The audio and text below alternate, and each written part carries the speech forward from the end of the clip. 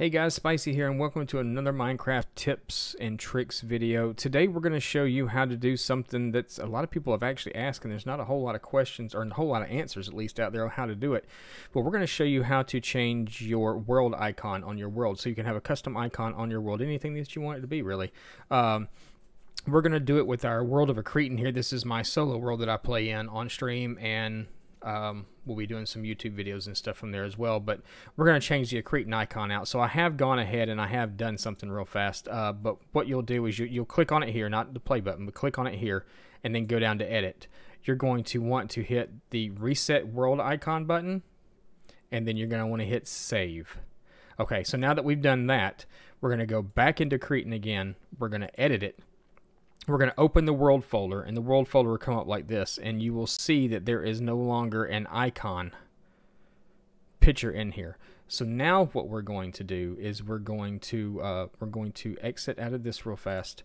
We are going to pull up where we may have another file or picture saved. We actually happen to have one already. And uh, we've got this little icon right here called Accretan so what you want to do is you want to make sure that this icon is 64 by 64. You're going to have to resize it to 64 by 64 pixels, and you want to also rename that.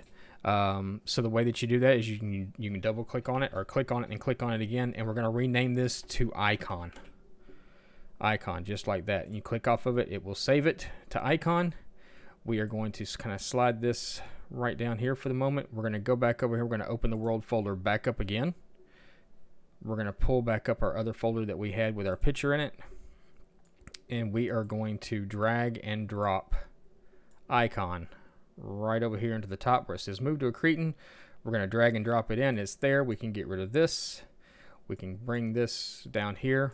And if you want to look at all the stuff that's in there, but the icon has moved down here. We're going to close that out. We are going to hit save. And there we go. It's right there. That is exactly how you make a custom avatar or picture for your worlds. It's very, very easy uh, and very simple to do. Uh, if you have any questions, you can list them down in the comment section down below. Guys, we do stream on, on Twitch uh, every Sunday through Wednesday at 8 p.m. Eastern Standard Time. We also stream on Friday mornings at 9 a.m. Eastern Standard Time.